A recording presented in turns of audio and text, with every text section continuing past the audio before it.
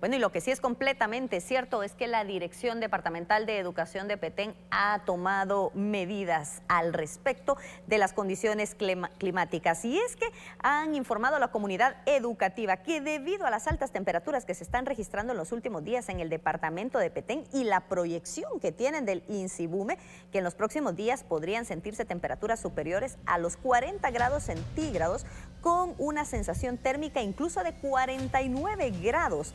Esto ha hecho que los horarios para los estudiantes en el área de Petén se modifiquen, quedando de la siguiente manera. La jornada matutina ingresará a las 7 de la mañana y se retirará de los establecimientos educativos a las 10 y media. Mientras tanto, los alumnos de la jornada vespertina ingresarán a las 2.30, a las 14 horas con 30 minutos y saldrán a las 16 horas. Esta disposición que ha compartido la Dirección Departamental de Petén cuenta con el aval de las autoridades superiores del Ministerio de Educación y han dicho que tendrá vigencia hasta el 24 de mayo del presente año. Además, han compartido algunas recomendaciones que nos vienen bien a todos.